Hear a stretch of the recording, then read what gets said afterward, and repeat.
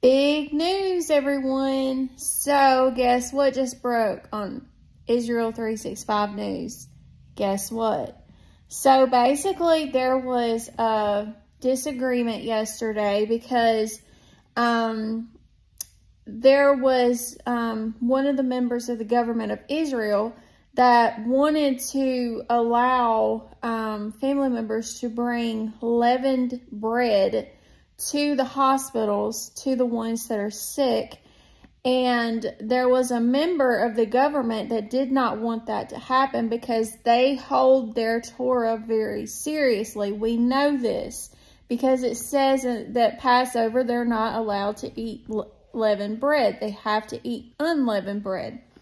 Well, as a result of this disagreement and the Prime Minister, uh, Bennett, agreed with the person that wanted to allow the leavened bread in, one of the members left the government.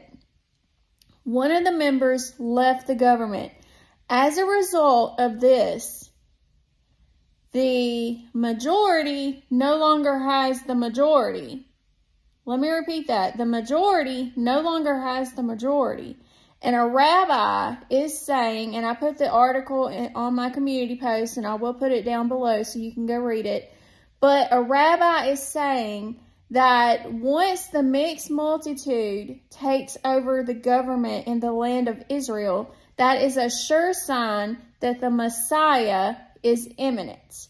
Let me repeat that. A rabbi is saying that once the multi um, people government or multi people take over the government, that that is a sure sign the Messiah is imminent. If you want to go read the article, I will link it down below so you can go read it. Keep looking up. Jesus is coming soon. I'm telling you, he's issuing warning after warning after warning. Time is up. Time is up. We are just in a waiting period now. Remember when I put up the video this morning, we're in labor pains. Oh, excuse me. We're in labor pains. And the longer the contractions, the closer we are to the rapture of the church. Stay watchful. Stay prayerful.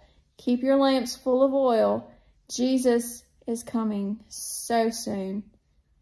Remember, it will be linked down below.